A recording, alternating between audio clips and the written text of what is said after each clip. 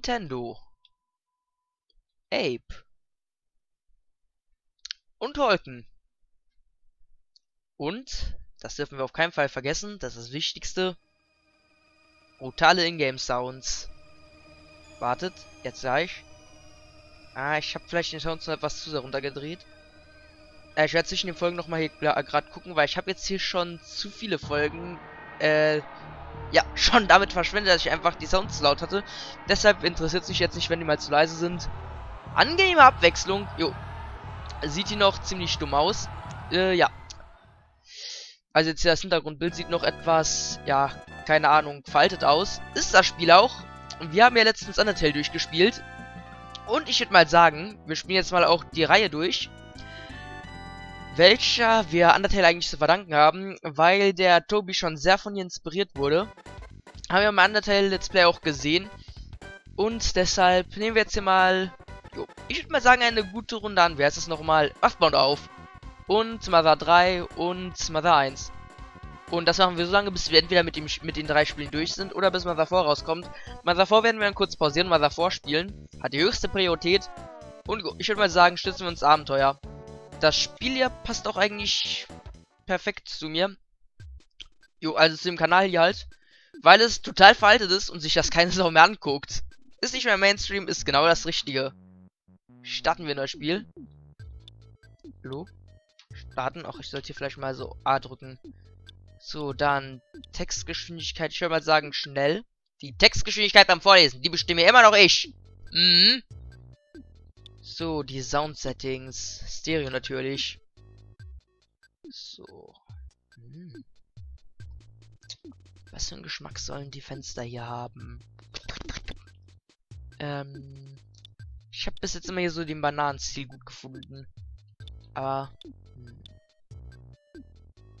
ja, komm, das ist so blau-grün oder ich bin blind. Warte, plain? Nee. Und nimmer. Wir nehmen Banane. So. Benenne ihn! Oh, yeah. Ähm, der hier hat schon einen Namen, auch ohne uns. Wir könnten ihm jederzeit einen anderen geben, aber ach, wartet, wir können ja auch genauso sehr...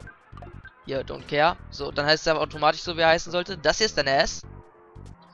Die hier lernen wir später kennen. Das ist die gute Paula. Oh ja. Die Paula ist eine Kuh. Hm, na, wer kennt die Werbung noch? Das ist der Jeff, der gute Killer. Und das hier ist wortwörtlich ein Haufen Scheiße. So. Na gut, ist aber etwas stärker als das. Und das hier ist eines der wohl irrelevantesten Personen des gesamten Spiels. Wir kennen die, wir lernen die einmal kennen. Und dafür ist eigentlich komplett verschwendet, dass diese, dass dieses Vieh einen eigenen Namen hat. Aber Shigezetsu Itoi hat es natürlich genauso gemacht wie der ähm, Toby Fox. Der wollte nämlich, dass wir uns bestmöglich mit ihm identifizieren können, äh, könnten. Und deshalb ähm, hat er uns hier halt die Möglichkeit gegeben, unseren eigenen, unseren eigenen Haustieren hier dem Namen des Haustiers im Spiel zu geben. Auch wenn es irrelevant ist. Das Haustier wird erst im dritten Teil relevant. Und ja, das Vieh heißt im Original King. Äh, dann jetzt hier unser Lieblingsessen. Wäre in meinem Fall, was war das in meinem Fall nochmal? Ist eigentlich egal, weil ich das sowieso nicht angebe. So, Steak. Wäre es in dem Fall vom guten Nest hier. Und was ist deine Lieblingssache? Habe ich auch keine Ahnung, was meine Lieblingssache wäre. Aber hier ist es auf jeden Fall Rocking. Kommt von Rocken. Und beim Rocken... Also ich habe da extra noch die Bedeutung nachgeguckt. Im Wiki habe ich damals vor drei Jahren mal nach... Rocken. Kommt halt von Rocken. Und weil die Rockstars damals immer rumgeschrien haben, wurde das genommen. Denn in dem in der original japanischen Version davon hieß es Kiai. Und Kiai ist. Ist es japanisch oder chinesisch? Nee, äh, das ist japanisch, das kommt aus dem Karate. Kiai bedeutet so viel wie Kampfschrei. Und ja, so wurde aus Kampfschrei Schrei und das Schrei herumrocken. Alles klar! So. Dann. Ja, ja, ich bin mir sicher. My body is sure. Oho. Mhm. Wir sehen hier schon der Overworld Map. Das Jahr ist 1990. Ja, äh, 99X kennen wir schon aus Undertale mit ähm, 2016 Own It. Eine kleine Stadt in Eagleland. ja, ich übersetze jetzt Eagleland nicht als Adlerland. Das würde überhaupt keinen Sinn machen. Eagleland ist übrigens angelehnt an England vom Namen her. Also, so habe ich das gelesen. Ich weiß nicht, ob das wirklich so zustimmt. So, na gut, aber Ness sollte ja auch eigentlich den durchschnittlichen Amerikaner ähm, darstellen. Damit sich der Spieler gut mit ihm identifizieren kann. Ja, mal gucken. Ach ja, übrigens, ich werde jetzt hier vorerst nur 10 Minuten lange Folgen machen. Nee, nicht 10 Minuten, 15 Minuten. Weil ich unter Zeitdruck stehe und ich möchte die Folgen hier schon mal voraus produzieren für die nächsten 5 Tage. Da bin ich in so einer Art Zeltlager von meinem Kung-Fu-Verein. Und, jo, das wär's schon. Ja, werde ich dann noch heute rendern und hochladen. Also ich werde es versuchen. Und dann kann ich das ja da per Zeit freischalten lassen von YouTube. Na gut, hier sehen wir auch schon, hoch, da, diese Tasten, nicht die Pfeiltasten. So, da sehen wir auch schon hier, ach ja, ich spiele das übrigens auf einem Emulator vom SNES, e also vom SNES e weiß ich gar nicht, ob ich von dem aufnehmen könnte. Ich habe noch nicht ausprobiert, ob die Ava Media von mir mit der kompatibel ist, also habe ich mir gerade den Raum gezogen, ist ja in dem Fall dann auch legal. So, das ist der gute Ness. Wir sehen hier auch schon ähm, Charakteristiken, die die Chera von ihm übernommen hat, oder der Chera, ist nicht bekannt. Für mich ist Chera immer eine die Chera. Oder Chera, keine Ahnung, wie man es ausspricht. Je nachdem, von wo man den Namen ableitet, anders. So, der hat hier nämlich schon diese rosigen Bänkchen. So, können wir irgendwas ansprechen? Was? Ich kann nicht mit meinem Bett reden? Was ist das bitte für eine Logik? In Undertale ging das. Da hätte das Bett dann wahrscheinlich irgendwas gesagt von wegen, ich bin ein Bett. Und ich sollte eigentlich gar nicht reden können. Mhm. Oh, das Licht ist angegangen. Mag ich. So, dann gehen wir hier rein und... Uh, die ist wach. Hm. Wie ging das nochmal genau mit A? So. Hier, ähm, dann können wir es auschecken. Dann werden wir es mit reden. Mit wem redest du? Mit diesem Geschenk hier. Mit wem sonst? Aber wir checken es mal out. Ness hat das Geschenk geöffnet. Da ist ein kaputter Baseballschläger drin. Ness hat ihn genommen! Mhm. Hier, der Sprecher ist mal wieder leicht aggressiv. So, ich weiß nicht, hatte ich das schon in dem Let's Play von Mother 1, das ich irgendwann begonnen habe beim alten Kanal und die benutzen? Na gut, ähm, equippen wir mal hier Weep Nothing, also jetzt wir Crack Bath, äh, Bat. Dann haben wir jetzt hier Offen 6 und Defense 2. Jeder Pokémon-Spieler weiß genau, was das ist. So, können wir mit reden? Äh, hier. Okay, geht nicht. Ach klar, ich habe vorhin auch ja, ja, jetzt weiß ich auch, warum ich da vorher nichts anreden konnte. Ich habe da aus reiner Gewohnheit von Undertale, habe ich einfach die falschen Tasten gedrückt. Na gut, hier, mit dir reden. Hey, Bro, hat dich, hat dich das Geräusch aufgeweckt? Hast du Angst? Hä? Nö. Denkst du, Mama wird mich heute länger aufbleiben lassen? Es sieht so aus, als könnte ich wieder einschlafen. Okay, hier haben die also auch wieder mehrere Dialoge. Okay, mehr kommt aber nicht mehr. Ah, ist schon eine Weile her, seitdem ich das letzte Mal durchgespielt habe. Wird schwer, Leute. Wird schwer. Ach, warte, kennen wir das ja auch. Ja. Hier gibt es keine Probleme. Mhm. Auch hier gibt es keine Probleme. Und hier gibt es erst recht keine Probleme. So. Was war... Warte, die hat jetzt eine ältere Stimme. Was war dieses Geräusch? Ness, du siehst gar nicht so ausgegruselt aus. Bist du verrückt? Und nun willst du es auschecken gehen? Äh, okay. Wenn ich Nein sagen würde, würdest du sowieso aus deinem Zimmer rausschleichen.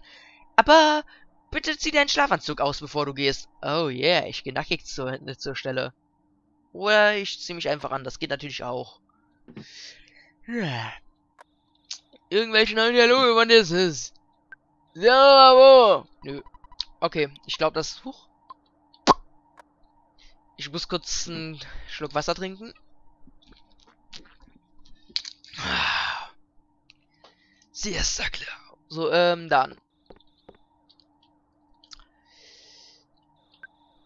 Äh. Sei vorsichtig. Komm nach Hause, ähm, so früh du kannst. Okay, dann hier ist ein Telefon. Okay, da antwortet niemand. Ja gut, wir haben ja mitten in der Nacht. Dann reden wir mal mit dem Hund. ähm. Neben Hunden, äh, neben, neben Menschen schlafen Hunde auch während der Nacht.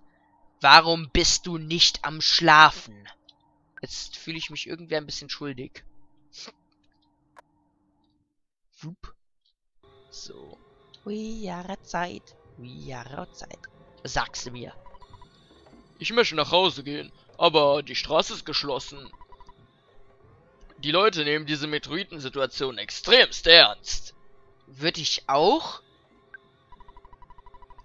Die Unit-Polizei ist berühmt für geschlossene, für seine geschlossenen Straßen, wenn irgendetwas los ist. Wir werden den Weltrekord knacken. Und da sieht man auch wieder, wo der Toby Fox da seinen Undertale-Humor her hat. Ursprünglich war es nämlich der Earthbound-Humor. Mhm. Keine Sorge, es ist nur ein... Was? Ein Meteorit, das... Wo? Nee, nicht wo, sondern... Wer... Viel? Ich will einfach nur... Was? Nach Hause gehen. Mhm. Das ist ein vorbildlicher Polizist. Ja, so findet man sie vorzugsweise in den äh, größeren Metropolen. Der ist sehr talentiert darin, auf der Stelle zu gehen, sehe ich gerade. Hast du diesen Urknall gehört? Ich denke, ein Meteorit ist hier in der Nähe gelandet. Ich möchte ihn zuerst sehen, okay? Ach so, das ist... Ja, ja, ihr wisst ja noch gar nicht, wer das ist. Ich werde... Ich werde mal versuchen, dorthin zu gehen. Dann versuch's mal schön weiter. So erreichst du nämlich nichts. Mit wem... Oh, no problem hier. Was gibt's hier drin? Oh, hier können wir reingehen. Ja, jetzt kommt ja schon die ganze Zelda-Action.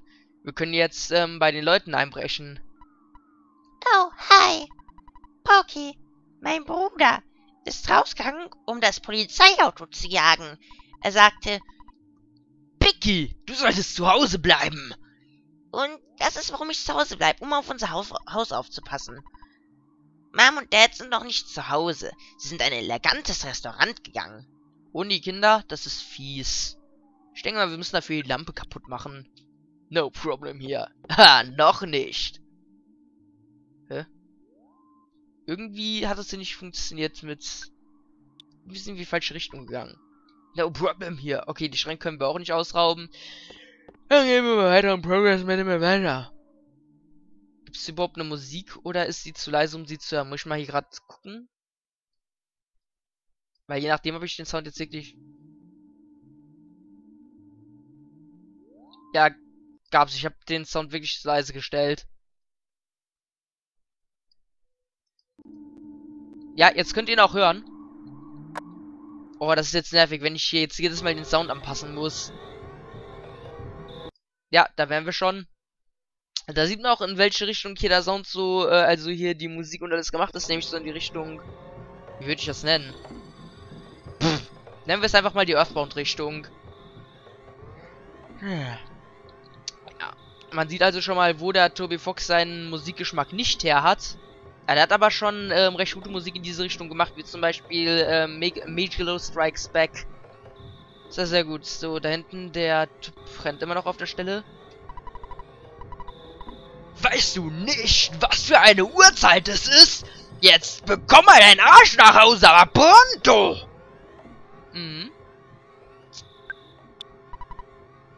Kein Problem hier. Ein Meteorit ist hier gelandet. Und die Haie. Nee, die Sharks ist in dem Fall eine Gang. Und die Sharks rennen wild in der Stadt herum. Und Kinder gehen herum. Und ich bin hungrig. Ich hasse meinen Job. Mhm. Es ist gefährlich, zu der Hügelspitze zu gehen. Aber selbst wenn ich dir sagen würde, nicht dorthin zu gehen, wird sich nicht stoppen, oder? Ja, und in dem Typen hat sich perfekt der Sans gezeigt. Auch wenn ich die Stimme vom Sans komplett verkackt habe, könnte ich nicht mal mit Audacity mehr retten. Wie ich es da schon gemacht habe bei der letzten Animation von mir. Da How to Easy Beat Sans. Ja gut. Dann. Hey du! Weißt du nicht, was eine Uhrzeit ist? Das fragt uns hier jeder Polizist, könnte das sein? Ja gut, ich würde es den hier wahrscheinlich auch fragen, Nass. Ja. Oh, das ist ein Geschenk, das hier ganz unoffensichtlich mitten irgendwo in der Landschaft liegt. Ich glaube, das müssen wir unbedingt öffnen. Da ist eine Brotrolle drin. Es hat sie genommen. Ein richtiger Dieb. Er klaut mal wieder nur von der Natur. Krasser Typ. Krasser, krasser Typ. So, Brotrolle hier. Hilfe! Brotrolle. Wenn es ist, recoverst du um die 30 HP. In dem Fall wären es noch ähm, alle HP. Äh, hier, Crack Bat. Nehmen wir noch hier äh, Hilfe. Kaputter Baseballschläger. Es kann diese Waffe equippen. ATM-Karte. Oh, das haben wir noch gar nicht gesehen. ATM-Karte. Weißt du, du solltest dein Haus nichts verlassen äh, ohne... Hä? Es funktioniert sogar über See. Okay. So, und an der Stelle ist die Folge beendet. Wir sehen uns nach einem kurzen Cut wieder. Ihr am nächsten Tag, nach einem kurzen Cut.